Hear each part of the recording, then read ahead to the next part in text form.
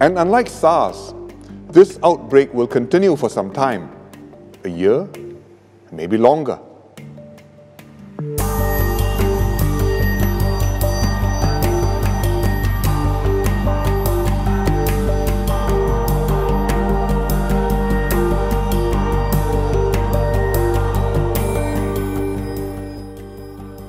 My fellow Singaporeans, good evening.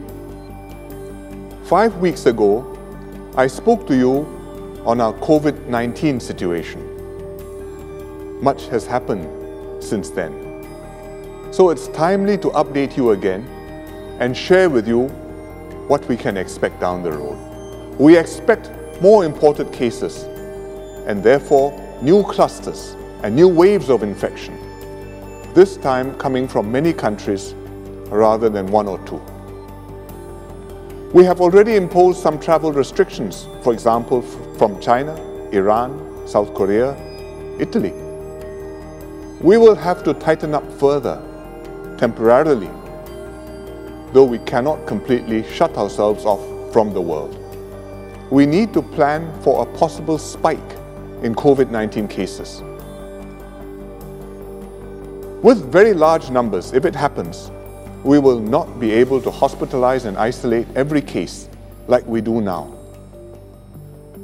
But we now know that the majority of patients, in fact about 80% of them, only experience mild symptoms. And the ones who are most at risk are the elderly and those with pre-existing conditions like high blood pressure or lung problems. So, with larger numbers, the sensible thing will be to hospitalize only the more serious cases and encourage those with mild symptoms to see their family GP and rest at home.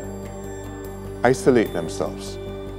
This way, we focus resources on the seriously ill, speed up our response time, and hopefully minimize the number of fatalities. But rest assured, any Singaporean who needs urgent medical care whether for COVID-19 or other illnesses, will be taken care of.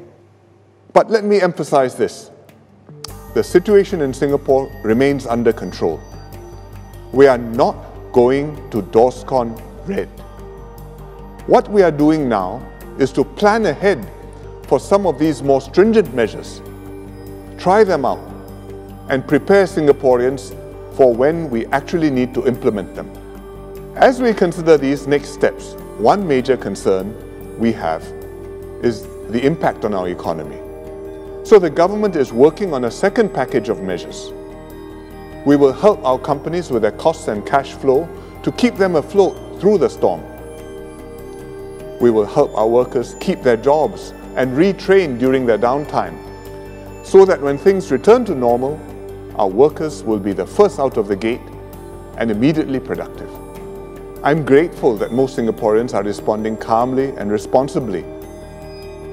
Thank you for your trust and support.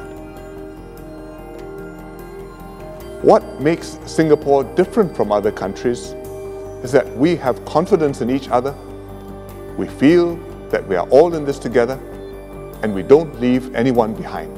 We will remain in this high-risk state, nevertheless, for some time to come. But if we keep up our guard and take practical precautions to protect ourselves and our families, we will be able to keep our economy going and carry on with our daily lives.